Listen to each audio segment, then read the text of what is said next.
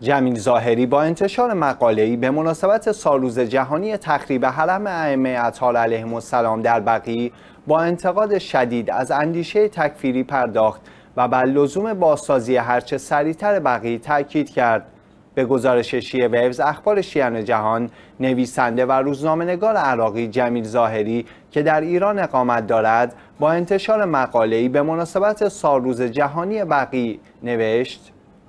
جهان اسلام در این روزها بیش از پیش در سوگ فاجعه بزرگ, بزرگ تخریب بقی قرار دارد. فاجعه که در بالاترین سطح از تجاوز به مقدسات اولیاء خداوند به شمار می رود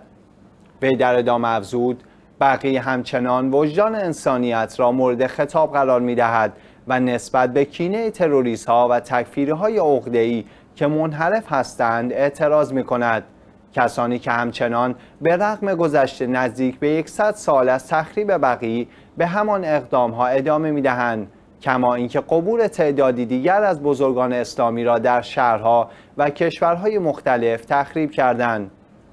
جمیل ظاهری همچنین گفت وهابیون تکفیری با اندیشه های انحرافی خود همچنان در حال نشر فساد در زمین هستند و به هویت و میراث اسلامی ضربه می‌زنند.